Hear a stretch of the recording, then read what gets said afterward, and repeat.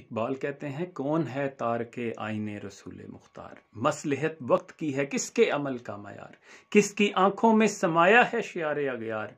हो गई किसकी निगाह तर्ज सलफ से बेजार? कल्ब में सोज नहीं, रूह में एहसास नहीं, कुछ भी पैगाम मोहम्मद का तुम्हें पास नहीं।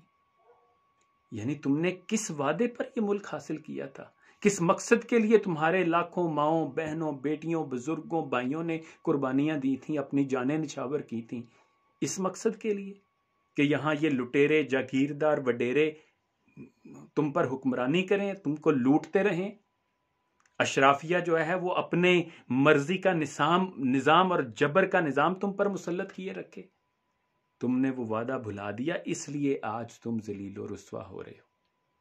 अपने आप को पहचानो मुसलमानों। इस बेअमली से निकलो, इस जबर के निज़ाम के खिलाफ आवाज़ बुलंद करना सीखो।